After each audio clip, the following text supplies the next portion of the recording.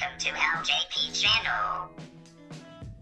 Hello everyone, I just found further secrets or more coding for this uh, vector robot. So I'm just going to show you something very interesting. So what you do is you press twice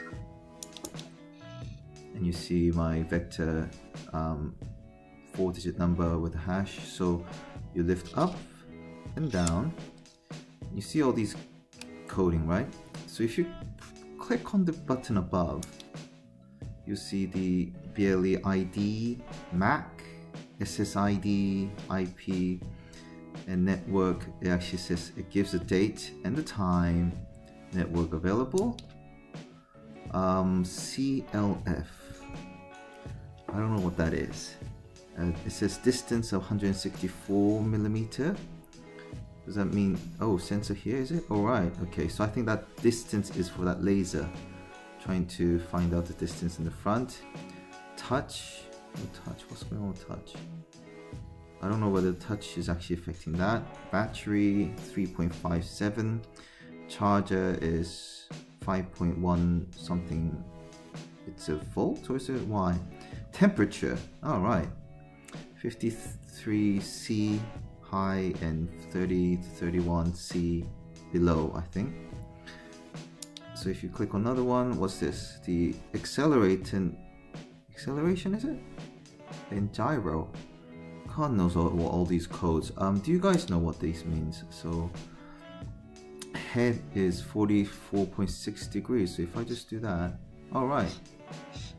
So just measures the degree of the head, UFT, um, LS speed, I think probably that is, is that that? Oh, lift. I see, so that's for the degree of, so that's the coding of instructions for UFT, uh, or lift, sorry. um, LL, L speed, R speed, left to right speed, I think that's the wheel maybe. And that's mic, I think. So let's do that.